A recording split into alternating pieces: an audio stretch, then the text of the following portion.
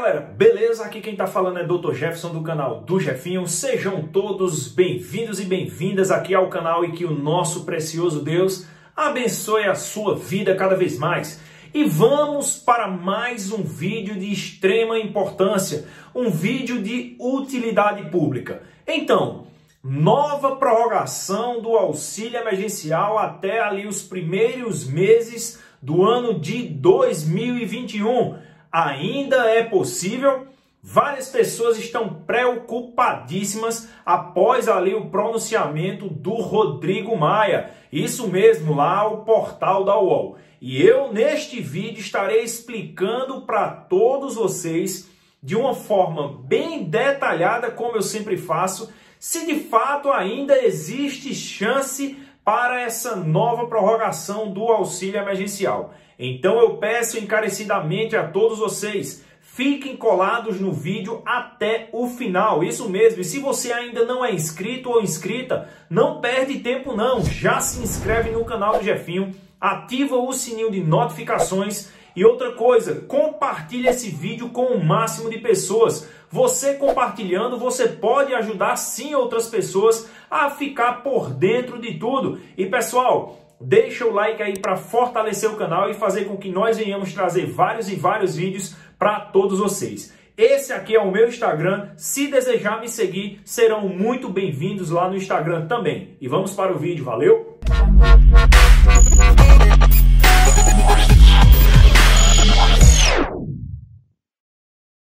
Agora o que eu estou dizendo é o seguinte: não deixem as coisas para o último dia do ano não haverá prorrogação do estado de calamidade nem da PEC da guerra. Isso aí está dado. Quando nós aprovamos a PEC da guerra com apoio de todos os partidos, inclusive do PSOL, com 505 votos, ficou claro que o prazo de, extinção da PEC da guerra foi 31 de dezembro de 2020.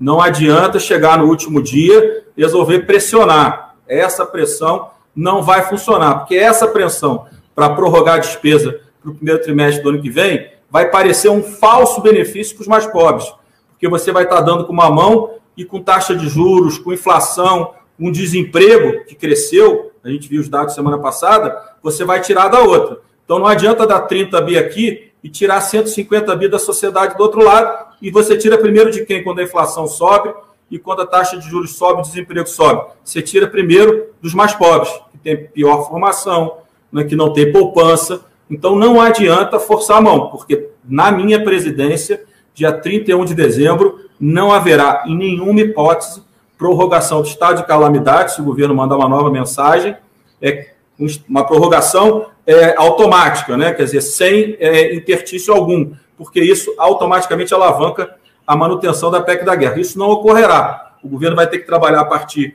de 2 de janeiro com as medidas provisórias, tendo que respeitar a LRF e a regra de ouro. Isso está dado, acho que isso é importante para o Brasil. Parece custoso, parece desgastante, mas é isso que vai gerar as condições para o setor privado voltar a investir, como já começou a investir nas últimas semanas. Se a gente for no caminho certo, o maior beneficiado é o brasileiro. É, pessoal, infelizmente vocês viram esse vídeo e infelizmente essa foi a fala do Rodrigo Maia. Simplificando aqui, resumindo para todos vocês. Rodrigo Maia afirmou sim que não vai prorrogar o estado de calamidade, nem a PEC da guerra ali para gerar um recurso maior para o governo e também não adiantava o governo federal ir lá e dizer, ó, oh, vamos prorrogar porque, porque nós queremos prorrogar o auxílio emergencial, será muito mais viável para a gente. Rodrigo Maia já bateu o martelo. E ele disse o seguinte: que não irá prorrogar nada. Não adiantaria o governo vir ali chorando que enquanto ele fosse presidente, não iria prorrogar mais nada. Infelizmente ele falou isso, pessoal. E desculpe aqui, mas eu vou fazer um desabafo. Esse Rodrigo Maia, ele de fato não tem coração.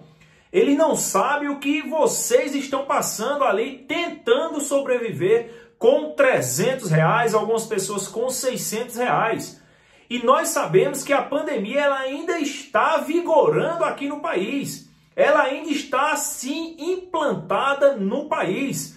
E os números mostram aí que não é mentira. O governo de São Paulo, ali da cidade de São Paulo, e o governador de São Paulo já estão tomando algumas medidas para um bloqueio aí para alguns estabelecimentos e algumas pessoas.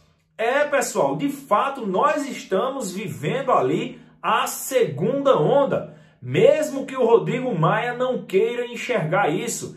E ele ainda tem a cara de pau de dizer o seguinte, que é melhor para a população brasileira. Pessoal, eu estou vendo aqui de fato o sofrimento de vocês. Eu vejo como vocês estão tentando sobreviver com esses 300 reais. Tudo aumentando, tudo aumentando. Então, 300 reais, infelizmente, não dá para nada no dia de hoje, certo? Então, pessoal, eu vou explicar aqui para vocês o que o Rodrigo Maia falou.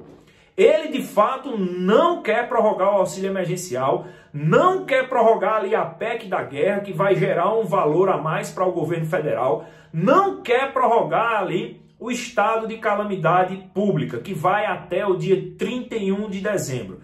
Tanto o auxílio emergencial, a PEC da guerra, como o estado de calamidade pública. Então, se de fato isso não for prorrogado, o governo não vai ter dinheiro ali para prorrogar o auxílio emergencial. Isso mesmo. Agora, se vocês atentaram aí no vídeo, veja só o que o Rodrigo Maia disse. Olhe, o governo agora que se vire, ou seja, ele, Rodrigo Maia, jogou a bomba lá no colo do presidente. E o Rodrigo Maia, ele afirmou o seguinte, prestem atenção, se o governo quiser ali pagar alguma coisa para a população, ele terá que fazer isso lá no dia 2 ou no dia 3 de janeiro por meio de medida provisória, atentando para a LRF e a regra de ouro. Pessoal, preste atenção o que significa LRF.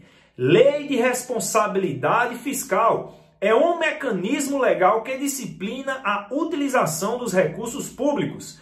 Ela faz com que os estados, os municípios e a União controlem seus gastos, respeitando a capacidade de arrecadação por meio dos tributos e em relação à regra de ouro, significa o seguinte: a regra de ouro do orçamento está prevista na Constituição Federal e é um mecanismo que proíbe o governo de fazer dívidas para pagar despesas correntes, como salários, benefícios de aposentadoria, conta de luz e outros custeios da máquina pública. Quando a regra é descumprida, os gestores e o presidente da República podem ser enquadrados em, em crime de responsabilidade fiscal, ou seja, a famosa pedalada fiscal.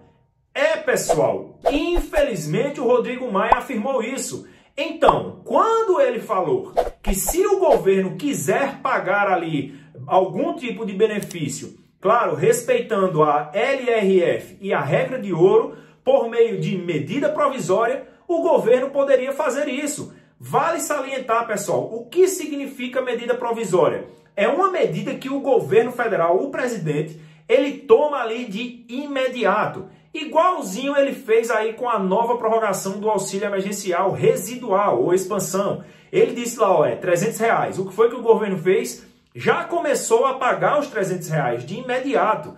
Isso mesmo sem ali a, a, a opinião do, dos deputados, sem a opinião do Senado. Já começou a valer. Então o Rodrigo Maia disse isso: olha, olha, presidente, se o senhor quiser pagar ali uma nova prorrogação, agora só por meio de medida provisória e atente sim ali à LRF, não é? A lei dos, da responsabilidade fiscal e também a regra de ouro. Porque se você descumprir isso, se ultrapassar ali o teto, nós vamos lhe buscar sim por responsabilidade fiscal. Simplesmente isso ele falou para o presidente.